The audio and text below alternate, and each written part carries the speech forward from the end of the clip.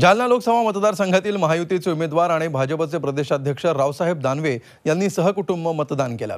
भोकरदनमधल्या जिल्हा परिषद शाळेच्या मतदान केंद्रावर त्यांनी मतदानाचा हक्क बजावला.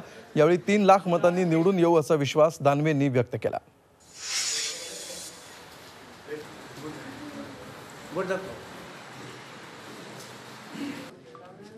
त्यांनी केलं ते दाखवा.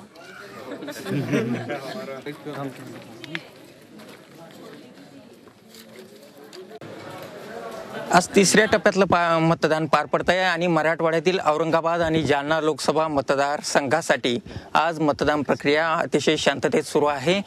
आणि मतदानानंतर भारतीय जनता पार्टीचे प्रदेशाध्यक्ष रावसाहेब दानवे त्यांच्या कुटुंबियासह आपल्यासोबत आहे. त्यांना आपण विचारूयात. दादा मला सांगा मतदान तर केलेलं आहे. काय नेमकी प्रतिक्रिया आहे पहिले? तीच कुटुंबासह मतदानाला गेलो. आम्ही सर्वांनी मतदान केलं. मतदान मतदान केंद्रावर मतदाराच्या रांगा होत्या. अत्यंत प्रचंड उत्साह मतदारामध्ये सर्व लोकांनी जास्तीत जास्त मतदान करावं. काही ठिकाणी मतदानाची आकडेवारी कमी होण्याचे कारण की स्थलांतर झालेलं असतं. शहरामध्ये जास्त स्थलांतर झालेलं असतं. त्याचा परिणाम होऊ शकतो कदाचित. पण जालना लोकसभा मतदारसंघामध्ये दोन हजार चौदाला जेवढं मतदान झालं त्याच्यापेक्षा कमी मतदान होणार नाही. ह्या पाच वर्षामध्ये महिलांचे खूप कामं झाली. त्याच्यामुळं अन हमेशा त्यांच्यामध्ये मिळून मिसळून असल्यामुळं अ, सगळा चांगलाच अनुभव आला.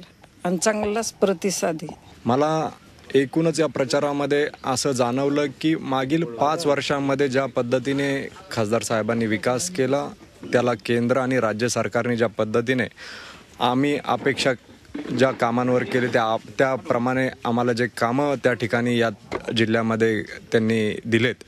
या विकासाच्या जोरावर निश्चितपणे त्या ठिकाणी लोकांचा सामान्य मतदारांचा आणि जनतेचा चांगला प्रतिसाद आहे. मला विश्वास आहे की या निवडणुकीमध्ये माझे वडील तीन लाखापेक्षा जास्त फरकाने निवडून येतील. यामध्ये कुठल्याही प्रकारची शंका मला त्या ठिकाणी वाटत नाही. Nitesh Mahajan Zee media Bhokardan